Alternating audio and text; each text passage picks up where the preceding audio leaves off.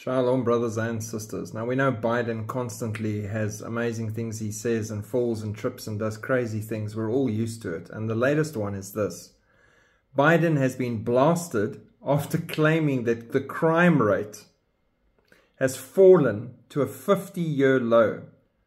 Maybe he should be watching this channel where I report on all the crime and the cra craziness and how bad the lawlessness has become. Biden claimed that during the Trump administration, America saw the largest increase in murders ever recorded, while under the Biden Harris administration, there's been a significant decrease in crime, including one of the largest yearly declines in homicides ever. Respondents noted that Biden completely ignored a huge spike in violent crime in large Democrat run cities. Remember, It's not hard to see a decrease in crime when you stop acting on the crime, arresting people, or even calling it a crime, and you allow lawlessness to abound.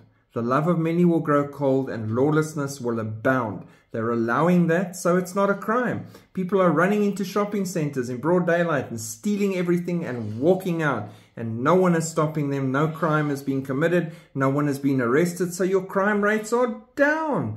Doesn't make sense, does it? But in the end of the world scenario, in the crazy clown world we're living in constantly right now, it makes complete sense. Keep looking up. Shalom. Last year, the United States had one of the lowest rates of all violent crime, of all violent crimes in more than 50 years. Murder, rape, murder, rape, aggravated assault, robbery all dropped sharply, along with burglary, property crime, and theft.